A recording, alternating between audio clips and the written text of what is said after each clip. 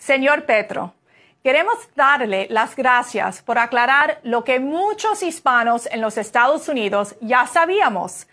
Al anunciar que respalda a Joe Biden, ha dejado clarísimo que Biden es el candidato de la izquierda radical. Durante su campaña, Joe Biden se ha rodeado de socialistas como usted, como Bernie Sanders y como la comunista Karen Bass.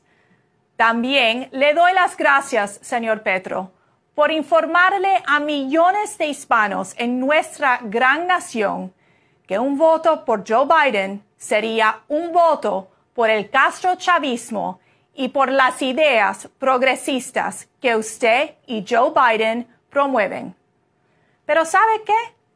El pueblo colombiano fue muy sabio en el 2018 y los hispanos que vivimos en los Estados Unidos también seremos sabios este noviembre, porque no tenemos miedo de decir abiertamente que nos oponemos al régimen de La Habana y a Nicolás Maduro, el títere de su amigo Hugo Chávez.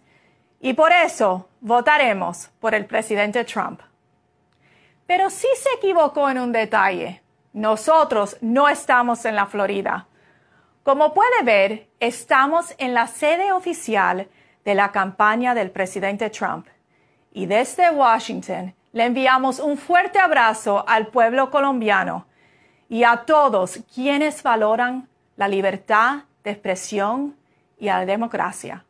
Señor Petro, que la Virgen de Chiquinquira lo bendiga.